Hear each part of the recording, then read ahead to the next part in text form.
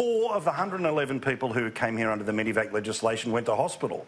Um, that would seem to me that it wasn't the life and death situation that was being pushed by those who were trying to get this bill up, thinking that it, was uh, you know, the final blow that they were going to put into uh, the Liberal government before the Quiet Australians had their say um, just a few weeks ago. Cory, you were in the Parliament. You, uh, you, you, know the fervour that was around the building and particularly the push on the crossbench there, um, where, uh, you know, our mate Derryn Hinch was in and out and back again, but of course was always going to back this thing in. It's now down to Jacqui Lambie.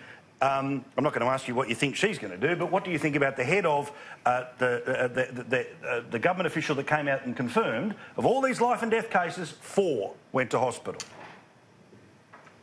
Um, it's not surprising because we knew that this was a way of gaming the system.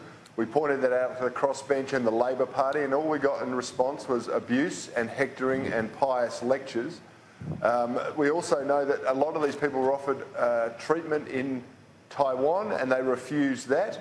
This is a scam and it's an indictment upon the doctors that have been involved in it. I bet you that most of them are the, the involved with the Green Left, uh, people like Dr. Di Natale. And uh, I just think Australia's got to protect its sovereignty and its borders, and I hope Jacqui Lambie, and I think she will, I think she's been very, very sensible in this parliament.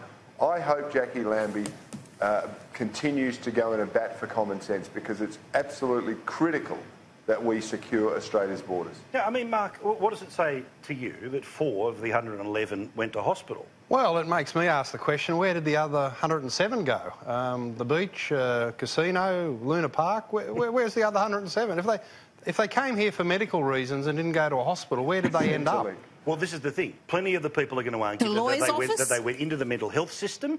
But, oh, well. but if it was a matter of life and death, that meant you came out of the places like Manus and Nauru that have a whole phalanx of, of, of doctors and mental health services it says a lot to me about how this wasn't about life and death. Aren't a lot of mental health clinics in hospitals? What, what sort of... That's what I'm saying. Clinics have they... Uh, My knowledge of the mental But I mean, any, any high-profile person yeah. who doesn't plead mental illness is an idiot because the medical science can never prove whether or not you're mentally ill. Correct.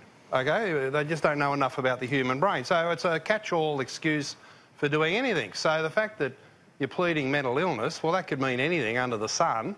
And uh, if they've come here and haven't ended up in a hospital, well, it just shows they weren't really sick. Well, and let's talk about that, that, that bar that actually got people in. So you're saying the other 107 are in some well, clinic out there uh, on, a on a couch? That's the immediate pushback that comes from those saying life, life's terrible and my whole thing's collapsing. All brought on by the stress of being. Well, why don't we send around to Kerryn Phelps's place to sort them out? You know, that'd be the easy answer, wouldn't it? Fair point. Was Isn't she a doctor? Here on, on she TV charges $400 for initial consultation. That, that, I don't know if we can afford that. that. That'll really sort them out. Yeah, well, okay. Why don't we send them...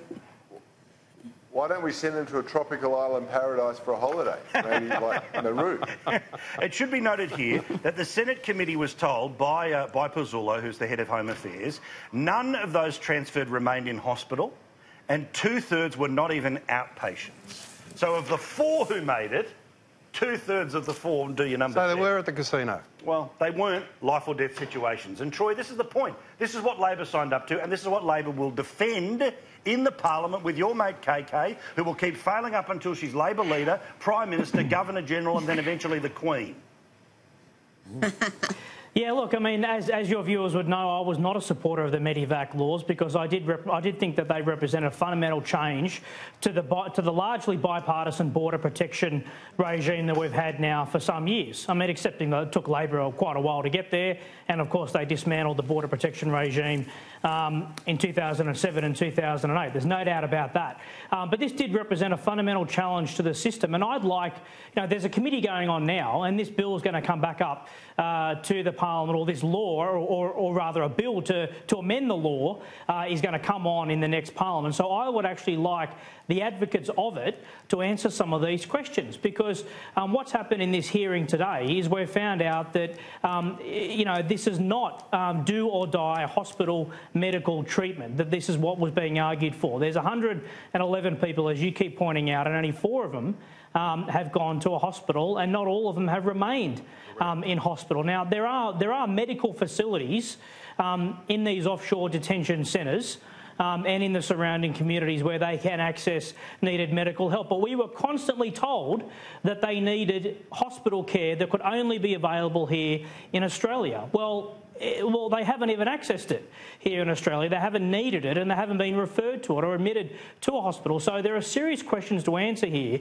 before we even begin uh, to consider um, repealing this law and re replacing it with something else. And so this is actually, I think, quite damaging um, for the for the crossbenchers, some of them who aren't there anymore, uh, who advocated this bill, and for the Labor Party, including Anthony Albanese, who was working behind the scenes to twist Bill Shorten's arm to support this legislation. Well, but it is this thing, Rita, where I mean you, you, can see the pushback, right? You can imagine the, the conversation while they're planning Radio National Breakfast tomorrow, going, oh, did you see what those people were talking about last night? Oh, they don't even understand. Quick, uh, uh, let, us push back. Let's get four refugee advocates. We get the president of the AMA and Kerryn Phelps on to flood the zone with information so everyone forgets. Four of 111 went to hospital. Yes, and Troy mentioned that uh, there is already fairly substantial medical uh, help available in Nauru. And if I could read from a government uh, document from 2018, in 30th of November 2018, there were 61 health professionals, including 29 mental health professionals in Nauru providing services for refugees and asylum seekers. That is an approximate ratio of one health professional to every eight refugees or asylum seekers. So, can you find any town in Australia that's got a one to eight ratio of health professionals? That is just extraordinary. And that doesn't even include the health services that you can get through the Nauru system, through their hospital system. So, let's not pretend that they're on this. Uh, you know, in the tropics with no medical facilities, no medical help. We have paid a great sums of money to have people there to treat them um, for both mental health issues and other health issues. And yet, we've got these activist doctors who think that's not enough. They have to come here so they can access the legal system, and then that takes years and years to resolve. And that is really the, the whole point of this uh, Medevac bill to, to find a backdoor way of entering the country. No, that was it. It was a crowbar to get in, but of course, nobody, nobody's allowed to say we got it wrong because that, of course, well, we all know they're never going to admit that. Certainly, the uh, the failure in chief on our way up the greasy pole, uh, taking pot shots at us along the way.